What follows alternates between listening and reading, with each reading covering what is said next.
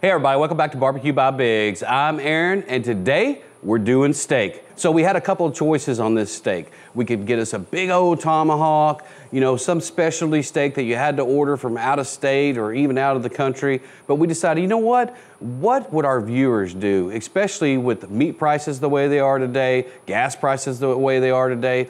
So we looked at our local grocery stores and we said, you know what? Let's find what steak is on sale. So Kroger had bone-in ribeyes for $4.97. So we went down to our local Kroger's and this is what we got. So if you want to see what we do with these $4.97 a pound bone-in ribeyes, come along with us. Stay tuned.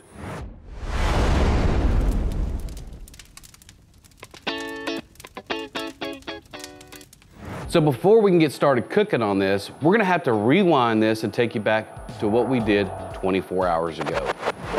All right, so what we're gonna do is we're gonna dry brine them. We're gonna put kosher salt on the top of them. We're gonna put them into the refrigerator overnight before we have to grill them tomorrow. What that's gonna do, it's gonna draw that moisture out of that steak, and that steak's gonna absorb that salt, and that moisture is gonna go back into those steaks. It's gonna give that nice, juicy flavor on the inside. And you know what? It doesn't matter what kind of cut of steak that you have, that dry brining with that salt the night before makes it even better. So we're gonna go ahead and get that done here. So we just have some kosher salt. You can use regular salt too if you want. Just make sure, because you can't see it as well as this stuff, that you don't over salt it. So just take, take a little bit of salt here, probably about half a teaspoon on each side. We'll just get that salt onto these steaks, flip them over. Go ahead and get that salted on these side too. Like we said before, these were inexpensive on sale, $4.97 a pound. Just paid a little over $12 for these, but dry brining these before, the night before. So it doesn't, you don't have to spend the maximum amount of money on steaks. You just have to prepare it the right way. Now, there are some benefits to those having a whole lot more marbling or a Wagyu steak, but these have pretty good marbling on the inside of these, and it still has a pretty good cap on it, which is one of the best things of these ribeyes. So we're gonna get these into the refrigerator overnight. They'll stay overnight until tomorrow evening when we go ahead and get these cooked up. So we're just gonna put a little bit of plastic wrap over the top of these, get them into the refrigerator, leave them overnight, and we'll see you guys when we're ready to go on the grill tomorrow. So bringing it back to present, here are the steaks and what they look like right now. As you can see, there's no salt left on them. And what I wanted to show you also, underneath, there's very little moisture loss. So, so what we wanted it to do is exactly what it did. So that dry brine did exactly what we wanted it to do. It brought the moisture up, brought the salt back into it, and it's gonna keep it nice and moist throughout. Again, these are choice steaks. They're not prime steaks, so they don't have as much marbling as you'd see in a prime steak. Just because it's not a prime steak doesn't mean it's a good steak. So if you do things right, you can turn any cut of steak into something that's pretty darn delicious. So what we're doing on these today is a reverse sear. What a reverse sear is, is cooking it until it's almost done and then putting the high heat to it. What that does on your steak is you'll, you'll cut into some of your steaks, you'll cut into it, and it'll be gray on the top, gray on the bottom, and just have one little bitty slice of that medium rare that you're looking for. With a reverse sear, it brings it up low and slow, and then what happens is all you're searing is that outer crust. What that gives you is a whole lot of meat at that medium rare that you're looking for, or medium, or medium well, whatever you're looking for. We're shooting for medium to medium rare today, and that's what we're gonna shoot for. So we're gonna get a probe into these, we're gonna get them onto the Yoder YS640 at 225 degrees. We're looking for 115 degrees internal temperature, and then we'll pull these things off, get it pumped up, and then sear them off. Let's do it. So if you don't have one of these probe systems on your pit, you can always use an instant read thermometer and just check it periodically to make sure you're getting to the temperature that you're desiring. So we're just gonna take our probe right in the middle of these, stick it right into the center of that steak. I'm only putting a probe in one of them. They're both, as you can see, they're almost exactly the same.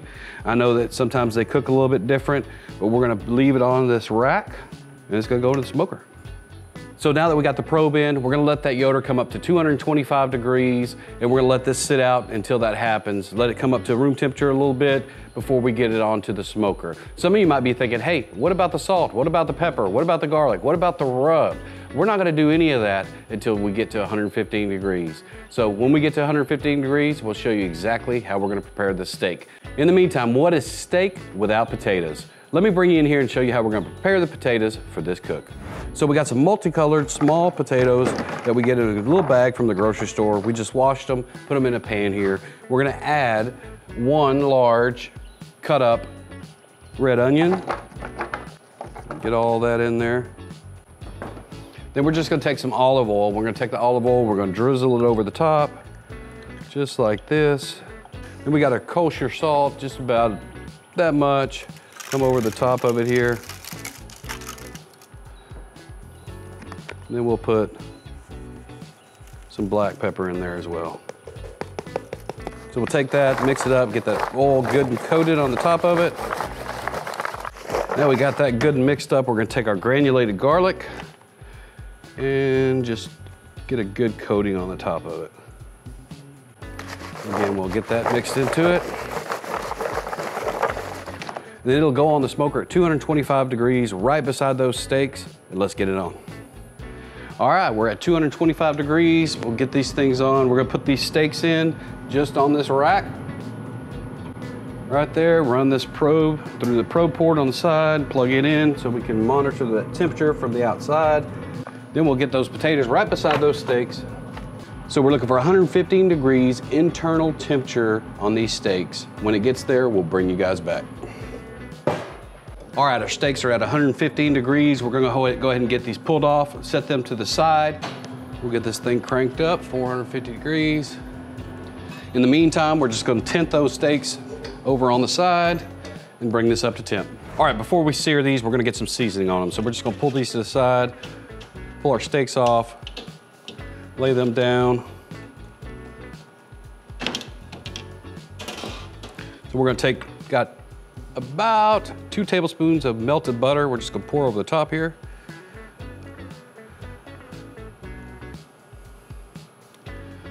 Just get these together here. Get them all good and covered with that melted butter. So we'll start with the side that was down on those grates. Remember, we dry brine these at the beginning, so it's got some salt, so we're just gonna add a little bit more salt. Some black pepper and just a dusting of granulated garlic.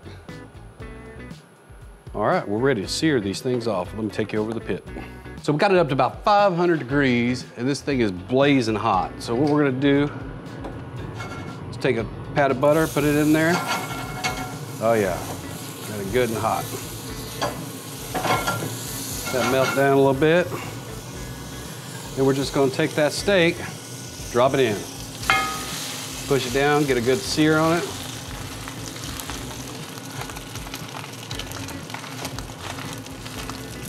We're gonna let that sear there for about a minute or so. Once we got a good sear on that side, we're gonna lift it up, go down with the other side.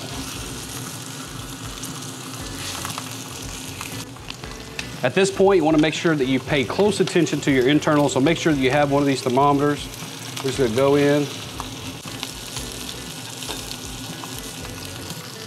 Yep, I think we're close. We're gonna get that pulled off. So what we're looking for is about 128 or so, and that's about where we're at. The carryover after we cover this up with foil will take us into that 130 range. It's kind of where we're trying to get to is the medium, medium rare stage. So we'll let this come up to temp a little bit more and get the other one on. All right, this one's ready too. We're gonna get it pulled off, get it tinted with foil, and then we'll bring you guys back. In the meantime, we're gonna shake up these potatoes, move them over closer to the fire, get those finished off as well. Bring you guys back. So we're gonna take this. We didn't clean out the juice or that brown butter. And we're just gonna take this over here to this.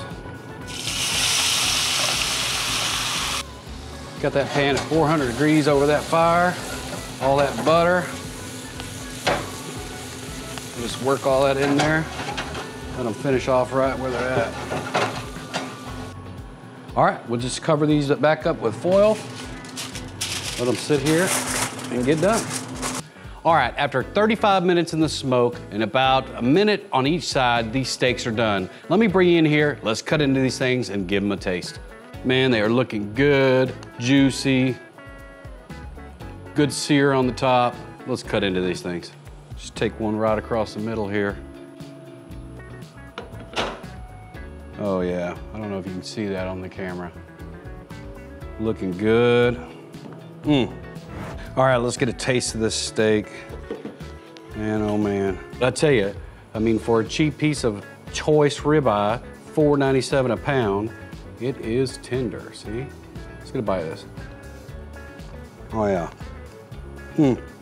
That's good. Yeah, much better than I thought. Mmm, hmm. Real good. Let's get a bite of this potato. Mmm. Now, you taste that salt, butter, garlic, that brown butter that was cooked with that steak and the steak renderings. Oh, they're so freaking good. I'll tell you what, this is something that you need to give a shot.